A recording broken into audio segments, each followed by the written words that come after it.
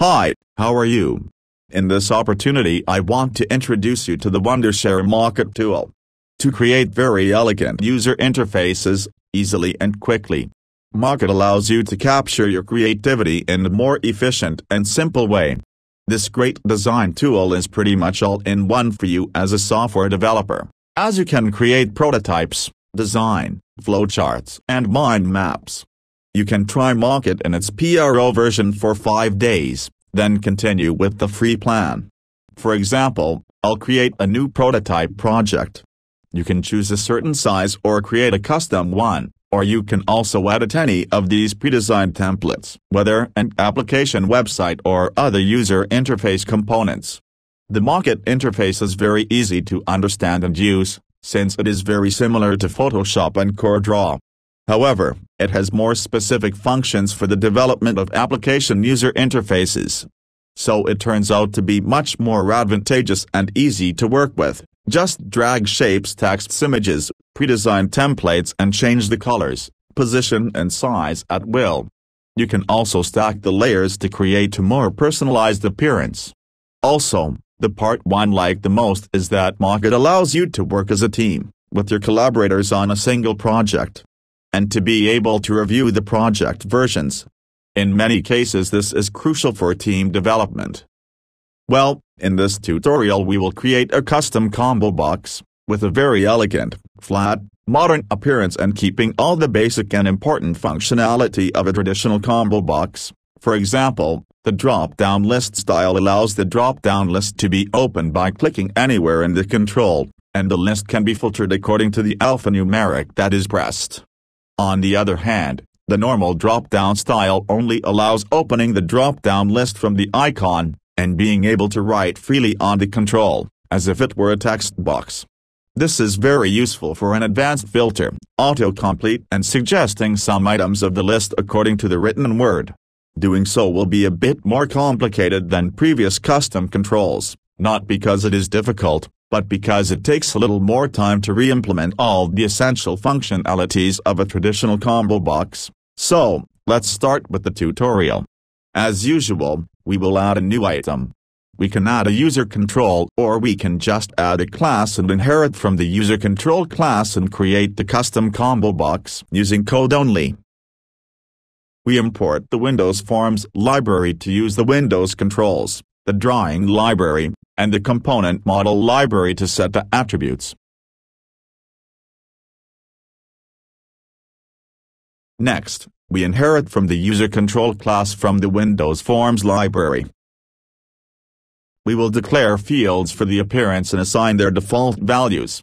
For example, back color, icon color, back and text drop-down color, border color and size.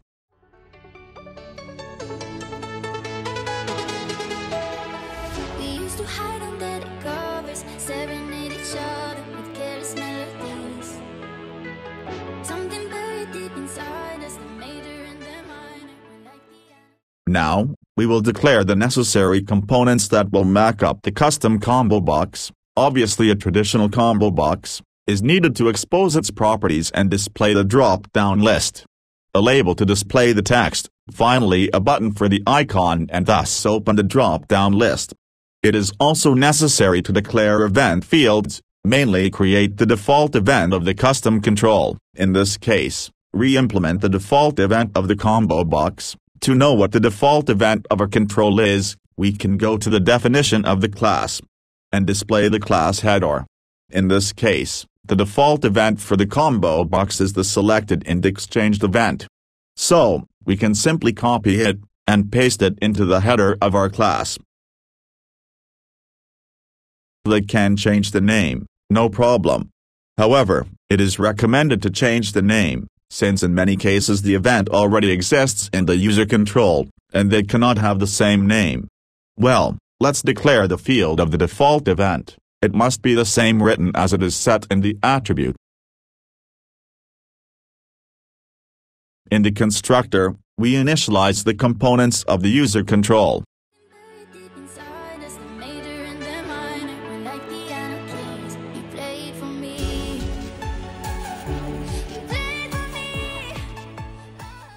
In the combo box component, that is the drop-down list.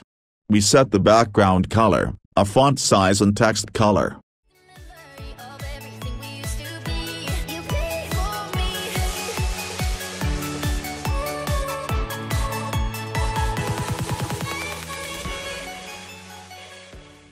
Now, it is necessary to subscribe the default event of the combo box and thus be able to attach the default event that we created earlier.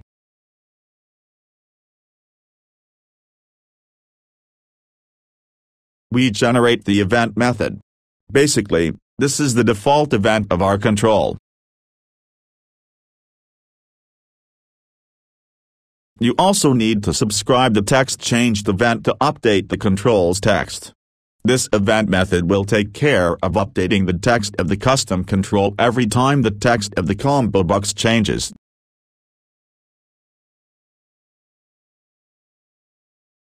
OK, now we will initialize the appearance properties of the icon button. The button must be docked to the right side, have a flat style with no border.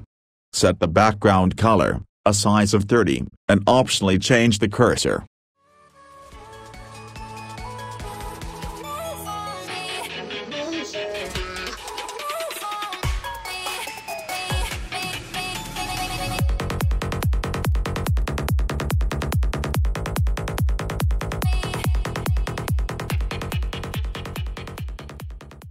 Regarding events, we will subscribe the button click event to open the combo box drop-down list, and a paint event to draw the down arrow icon with the specified color.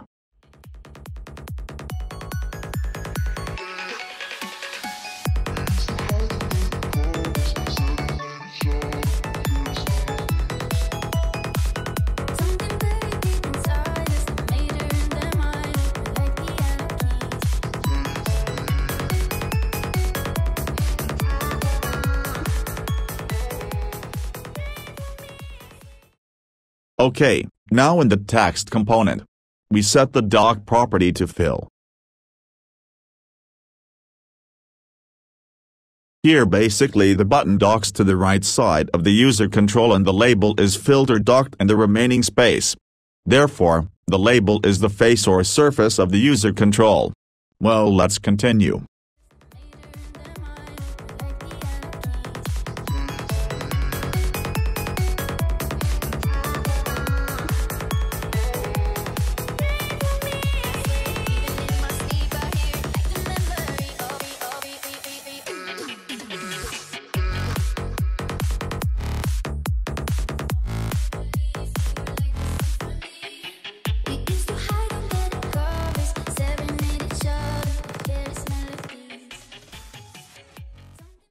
As I mentioned earlier, the label is either the face or the surface, as it fills the entire user control.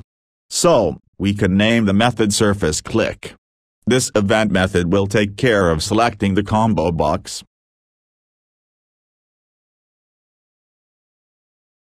Finally, in the user control, we add the previous components.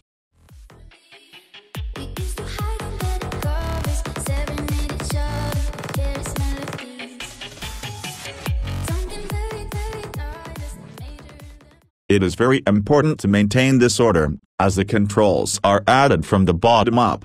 That is, the combo box is first added to the background behind everything, then the button is added to the right side, and finally the label is added to fill the remaining space. OK, we set the minimum size, size and text color.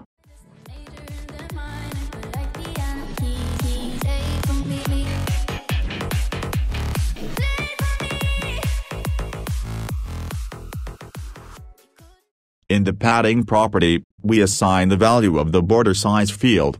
This time, the padding property is responsible for setting the border size, in the same way, the background color of the user control is responsible for assigning the border color.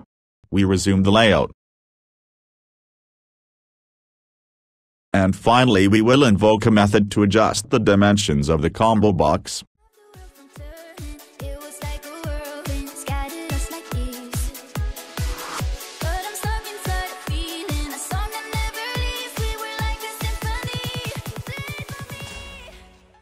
So, the width of the combo box will be equal to the width of the label.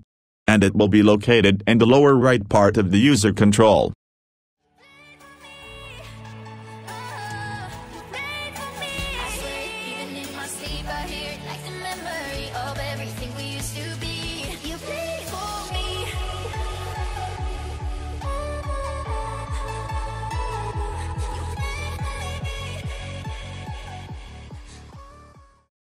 Alright, now let's start implementing the event methods.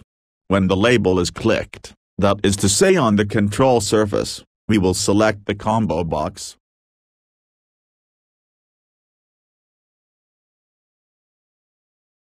And if the combo box drop-down style is list, it will open the drop-down list.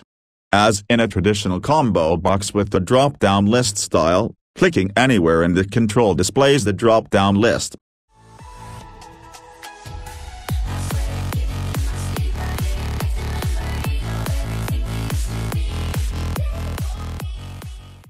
Now when the icon button is clicked, in the same way, we will open the drop-down list, and as a precaution, we must also select the combo box.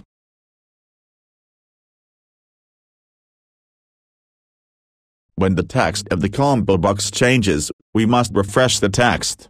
That is, the text of the label must be the same as the text of the combo box. Now when the selected index of the combo box changes we need to invoke the default event created earlier in the user control. Remember that this is the default event for both.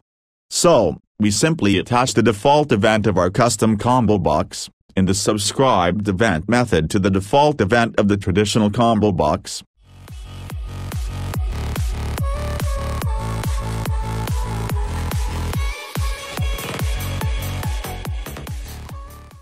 We must also update the text when the selection index changes. Alright, this is all for the actions of the user control components. I will reorder and group these methods to have them well cleaned and ordered and thus understand better. Well, I'm done sorting and grouping the methods. Now it is time to draw the combo box icon on the button. As usual, we declare the necessary fields to make the drawing. In this case, define the width of the icon, the height of the icon, a rectangle to determine the limits and dimensions. This must be centered on the button, and finally a graphics object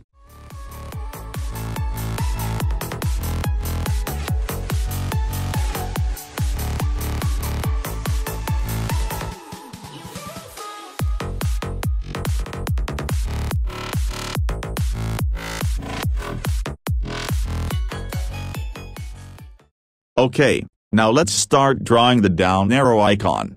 Using the using statement, we create a graphics path object to create the icon shape, and a pen object for the icon stroke.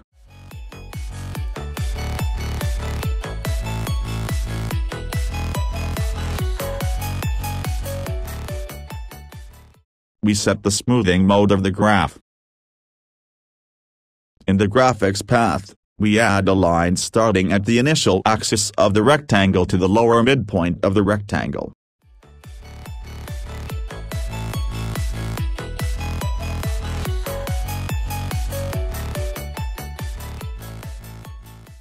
We add a second line, starting at the endpoint of the previous line to the upper right.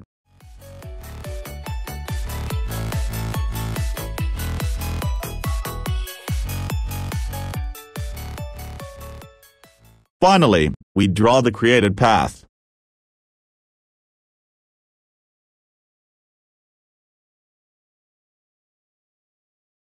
Alright, that's it for now. With this we should already have the custom appearance of the combo box. We build the project to generate and save the control changes.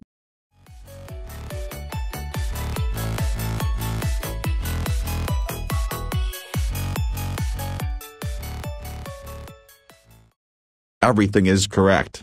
The components of the user control are in their respective places, the size and border color is applied correctly, like the icon, it is drawn correctly on the button with the specified color. However, we still need to expose the fields in properties and thus be able to change the appearance colors of the custom combo box. So we go back to the user control code, and create the get or set accessors for each of these fields.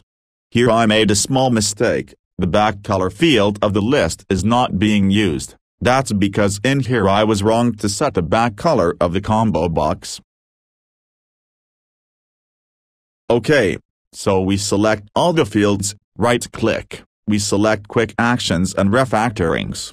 And we select Encapsulate Fields, this to create the get and set accessors or properties of the fields. The back color property ends in 1, because the property already exists in the base class. Then we can override the property or just hide it. In this case we will hide the property to create a new property with the name back color without affecting the base class. Well, when setting the background color, we need to change the background color of the label and button, since these are the face of the user control.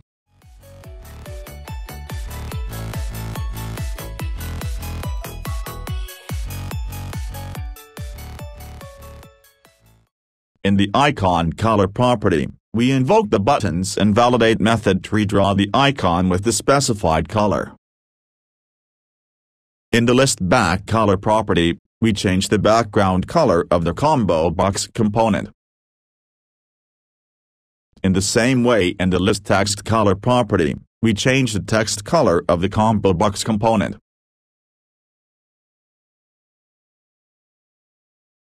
Now in the border color property. Here very important, as I mentioned earlier in the constructor. The back color property of the user control acts as the border, as the button and label fill the control. So we just copy and paste in the border color property. It is very important that you point to the base or inherited class. Since the back color property of this class is responsible for changing the back color of the button and label. It is the same with the border color property, the padding property takes care of setting the border size, as the button and label fill the control. The padding and back color property of the class go hand in hand to set the border color and size of our custom combo box. Alright, let's continue. We override the fore color property to also change the text color of the label.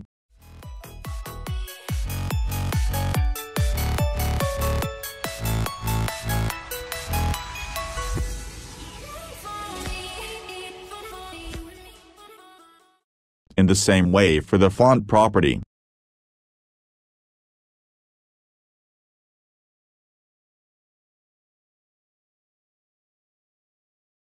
It is optional to also change the drop-down list font, since many times we want to keep a default size, or change it independently from another new property, as was done with the background color of the drop-down list.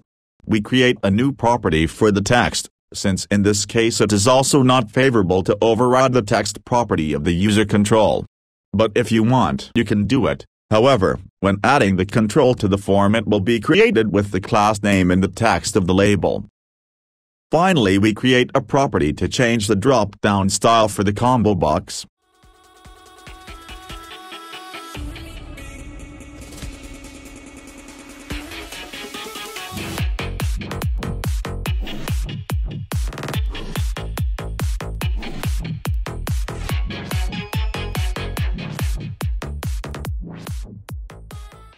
Here I will add a condition for the value to be different from the simple style.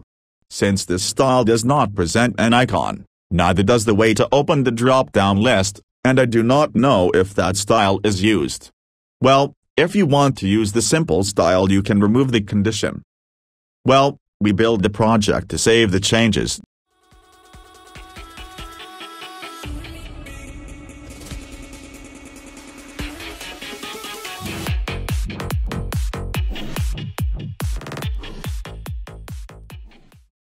And here are the properties, now we can customize the combo box in our own way.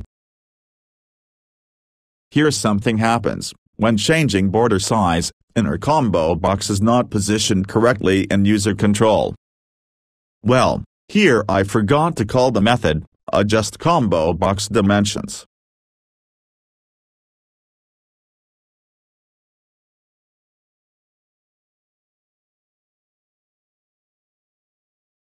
Now yes, the combo box is positioned correctly. However, if the border is larger than the dimensions of the combo box and the user control, then the combo box will stick out at the top. This simply increases the height of the user control. Well, it's all great.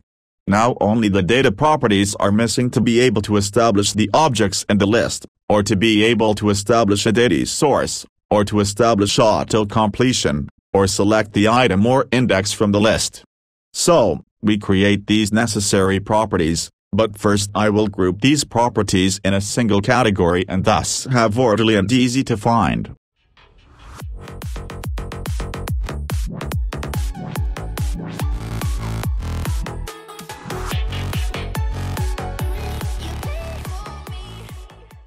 Alright, let's start creating the properties related to the combo box data.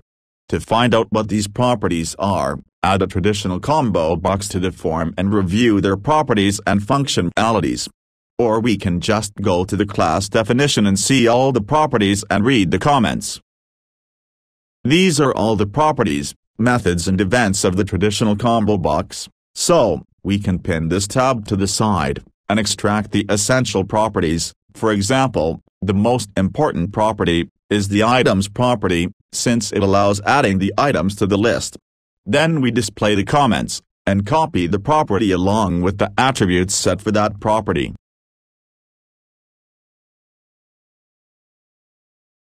We can remove these two attributes as it is not relevant in this case. Here it marks an error because it cannot find the object. That's because this object collection class is proper to the combo box class, so we just specify the owner.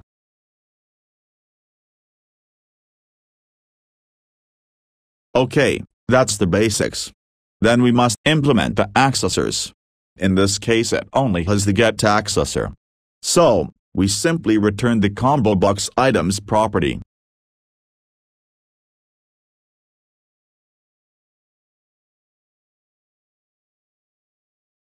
We do the same for the other properties. The other important property of a combo box is the data source property, since this property allows you to set a data source to the list. In the same way as the previous one, we display the comments, and copy the property together with the attributes. The autocomplete properties are also important for the combo box functionality. So, we copy all three.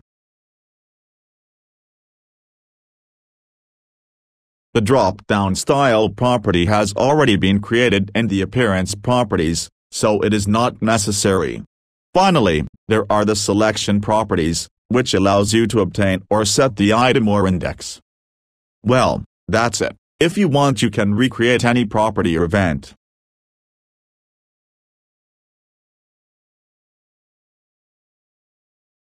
Alright, I'll remove the comments and attributes or keywords that aren't needed.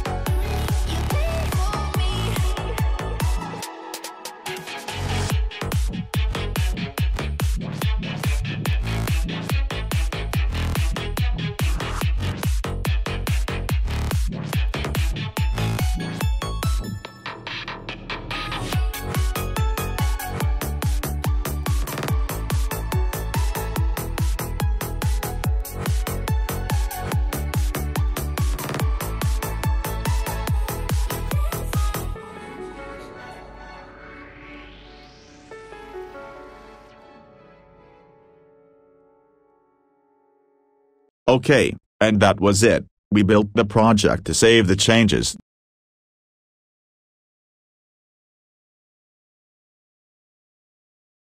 I will set the list of objects in the autocomplete mode.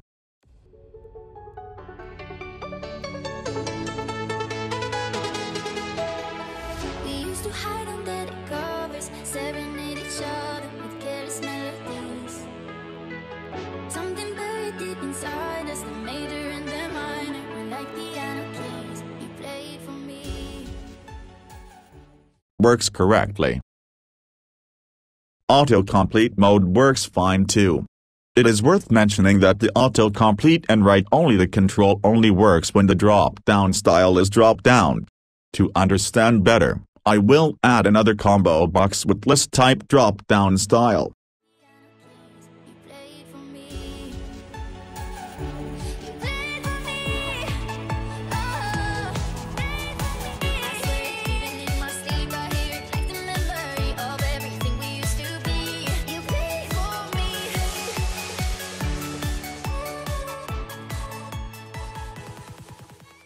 List type drop-down style allows you to open the list by clicking on any part of the control. It also already has a basic filter when pressing an alphanumeric key, and it does not allow you to type on the control. You can check that in a traditional combo box. Now I will test the default event we created earlier. Subscription to a default event is created by double-clicking on the control, which in this case works correctly. Now I will test if the event is executed correctly. For this I will show a message box.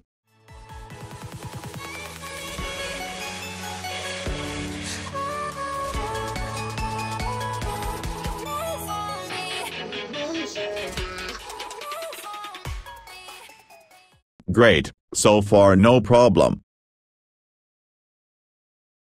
Now we will give the final touches, we still need to attach some basic events. In this case attach the events of the label with the events of the user control. As I already said, the label fills most of the user control, it is the face or surface of the control, so most of the events happen on the label. For example, the click event, mouse enter, and mouse leave.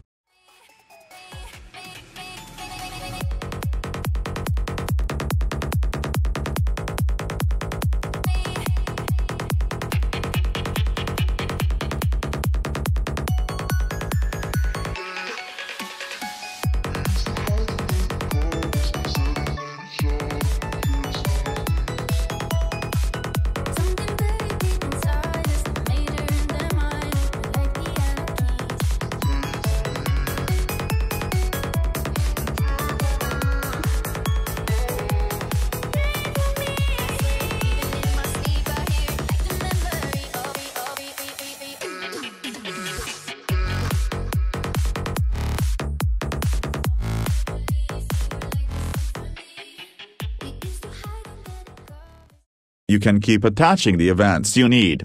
Here forget to attach the most important event which is the click event.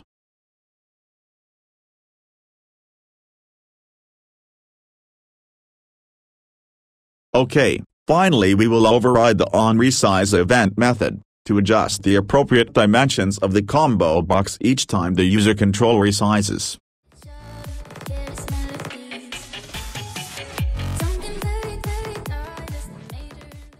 Alright, that has been all in this tutorial. I hope you liked it, see you next video. Goodbye.